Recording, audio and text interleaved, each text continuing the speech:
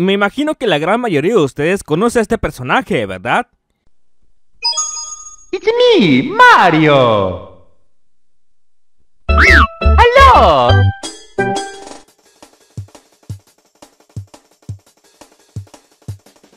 Y es que durante 35 años hemos acompañado a Mario en innumerables aventuras por todo el reino champiñón, probando cada uno de los títulos del fontanero más famoso del mundo y logrando apreciar su evolución desde los 8 bits hasta la actualidad. Pero a pesar de que Mario posee muchísimos videojuegos en los que podemos contar por miles y que muy probablemente los has jugado todos, lo cierto es que existen juegos de Mario que no has tenido la oportunidad de jugar, llegando hasta el punto de que solo un número limitado de personas pudo probar estos juegos, volviéndose actualmente títulos perdidos. De hecho, estos títulos de Mario solamente se podían jugar en exposiciones de videojuegos y eventos, en donde podíamos apreciar títulos originales, videojuegos del fontanero que conocemos actualmente, pero con contenidos nuevos y muy diferentes que nunca antes habíamos visto, y demos jugables que tenían elementos muy diferentes a la versión final del juego, y que por el hecho de que solo se usaban en estos eventos o no salía al público, Actualmente estos títulos están catalogados como videojuegos perdidos y que ningún jugador ha podido jugarlos. Y el día de hoy analizaremos los videojuegos perdidos, demos y DLC de Super Mario Bros. que actualmente se encuentran extraviados o perdidos. Sin más por agregar, comencemos.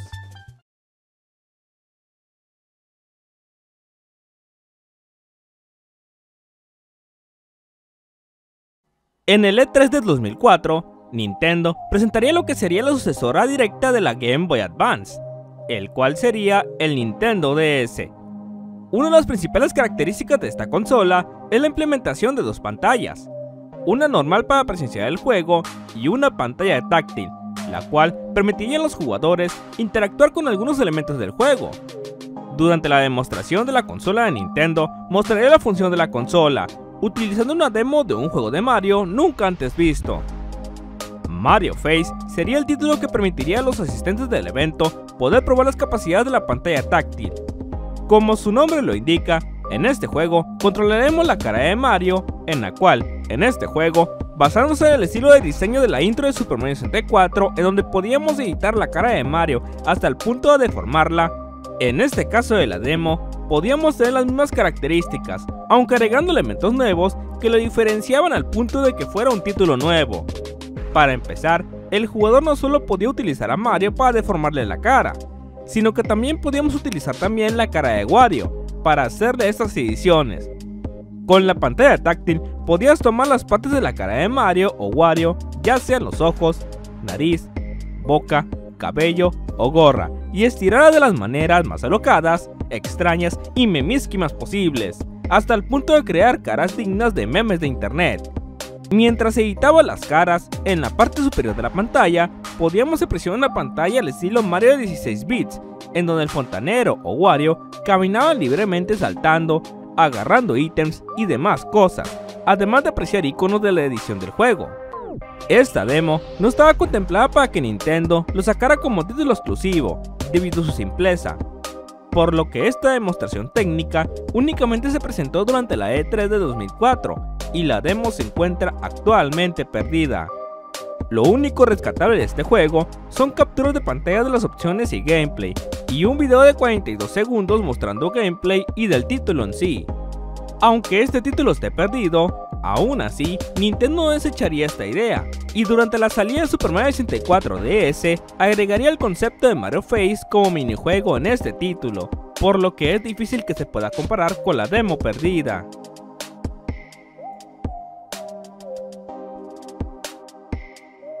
A pesar de que la Nintendo Wii fue un fracaso comercial debido a su pésimo marketing y la confusión de este juego pensando que era un accesorio para la Wii, lo cierto es que esta consola nos presentó grandes juegos que actualmente son títulos de culto. Y uno de esos juegos sería New Super Mario Bros. U, el cual sería la secuela de la versión de Wii, en el cual podemos apreciar nuevas novedades como power-ups y el hecho de utilizar tanto la pantalla táctil para jugar como para usar el juego en modo tableta, pero ¿sabías que existe una versión perdida del juego y del cual posee elementos diferentes a la versión final del juego? Durante el E3 de 2011, en las demostraciones de los nuevos juegos, Nintendo nos mostraría la jugabilidad de varios de sus títulos. pero los jugadores probarían algo muy exclusivo para dicho evento, el cual en un futuro se convertiría en un juego nuevo. New Super Mario Bros. Me sería una demo técnica que nos permitiría apreciar la tecnología utilizada para la jugabilidad de la Nintendo Wii U.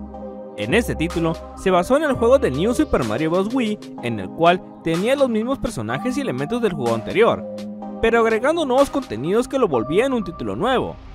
Esta demostración tenía un límite de 10 minutos para mostrarse, en donde podías jugarlo en la Gamepad. La principal característica de esta demo del juego es que además de poder jugar con Mario, Luigi o los dos Toads, podíamos tener la oportunidad de agregar nuestro personaje Mi, pudiéndolo controlarlo alrededor de los diferentes niveles del juego. Al momento de seleccionar tu Mi como personaje jugable, el avatar de este aparecía con su característico rostro, el cual editaste a tu personalidad o con el diseño que tú querías. Pero el traje de este Mi tendría el característico del fontanero, pudiéndote tocar colores aleatorios como amarillo, azul o los trajes de Mario y Luigi. Además de eso, podíamos jugar niveles nuevos y únicos durante la demo, pudiendo apreciar prácticamente un título nuevo de este juego. Lamentablemente, esta demo solo se utilizó durante este evento del juego, y nunca más se volvería a ver esta versión del juego en el futuro, volviéndose actualmente como una demo perdida de los jugadores. Como dato curioso, Nintendo utilizaría algunos elementos de esta beta con los niveles y la jugabilidad para el año siguiente, al sacar el New Super Mario Bros. U, pero descartando la opción de utilizar los Mi para jugar en la partida.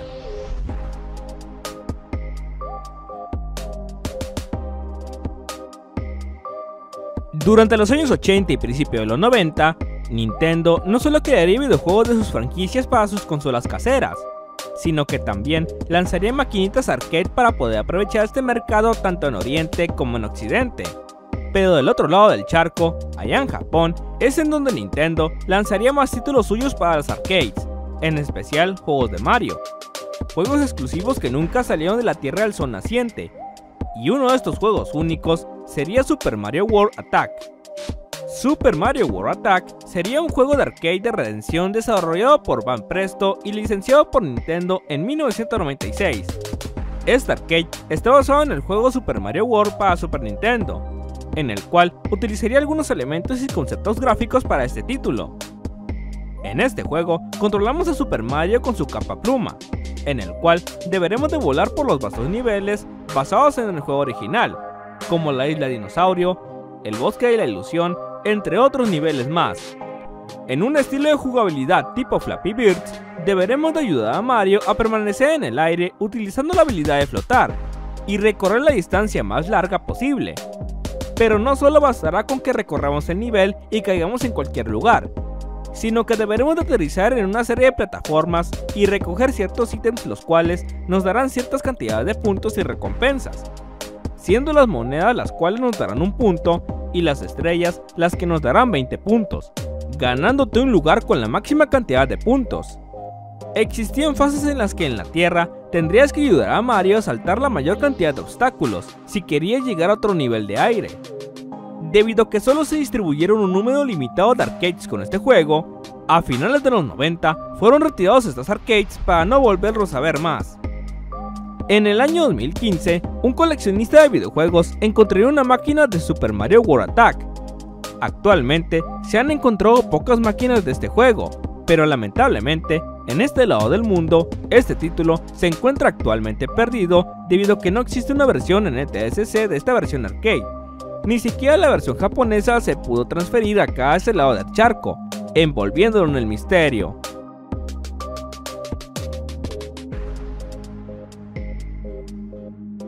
En el año 1995, Nintendo nos maravillaría con varios anuncios y demostraciones mostrándonos su más reciente consola de 64 bits, la Ultra 64, renombrada años después como Nintendo 64.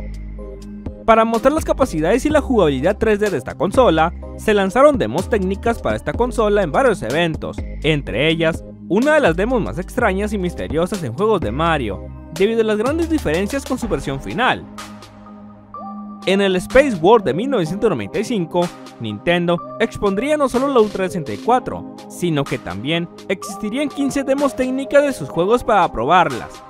Entre todos estos, el que más destacaba de ellos era el Super Mario 64, en el cual presentaba una gran evolución en la jugabilidad de los juegos de Mario, pasando de niveles 2D a vastos mundos en 3D, en donde el elemento principal sería la recolección de estrellas para avanzar en el juego. Sin embargo, para los asistentes del evento, fueron los únicos jugadores que pudieron probar una demo única, la cual tendría elementos muy diferentes a la versión final del juego. Esta versión de Super Mario 64 era una versión muy primitiva a la versión final que conocemos actualmente. Para empezar, tanto el diseño del HUD tendría un diseño muy simple mostrando sprites distintos a la versión final del juego. En el caso de las estrellas del juego, en vez de tener un diseño tridimensional, poseía una imagen estilo 2D muy simplista. En el área del castillo, con sus paredes y colores, tenía un diseño oscuro y sombrío, así como grandes cambios tanto en los cuartos en donde están los niveles, como algunos niveles, presentando diseños únicos y personalizados para dicha demo, los cuales tendrían una jugabilidad única para la demostración y que difiere la versión final del juego, Además de eso, existían algunas funciones únicas que fueron retiradas de la versión final, como el hecho de que tenías un minimapa en la parte superior derecha, la posibilidad de utilizar un salto volador y en el que cuando te enfrentabas a Bowser, en vez de darnos una llave para continuar con la siguiente sección, este nos da una estrella y monedas, o elementos más característicos como los que estás viendo en pantalla ahora mismo. Esta demo, además de tener elementos únicos casi casi volviéndolo un título alterno de Super Mario 64, también lo envolvería en el misterio. Lamentablemente, esta ROM solamente fue presentada durante el Space World de 1995, ya que al año siguiente, en 1996, se presentaría otra demo técnica de Super Mario 64, pero con elementos que lo asemejarían al producto final, retirando todos los contenidos de la demo y de la beta. Actualmente, esta demo se encuentra perdida, solamente rescatando algunas capturas de gameplays, imágenes y capturas de revistas de videojuegos mostrando estos elementos. Como dato curioso, es de decir que en el año 2018, los administradores de Super Mario 64 Beta descubrieron una patente para la Ultra 64, titulada como Sistema de Videojuegos con procesador que proporciona gráficos en 3D, en donde dentro de la patente pudieron encontrar capturas de pantalla y modelados en 3D de lo que sería el castillo de Peach de la demo del Space World de 95. Por lo que esto deja con esperanza de que algún día podamos encontrar total o parcialmente parte de la demo de Super Mario 64. Sin duda que hay más juegos, demos y beta de Super Mario que actualmente se encuentran perdidos y que en la siguiente parte analizaremos estos demás juegos. ¿Qué opinas tú? ¿Qué te parecieron estos juegos? Y dime, ¿te gustaría probar estos juegos perdidos de Mario? Compártelo conmigo en la caja de comentarios. Espero les haya gustado este video. Un saludo a todos.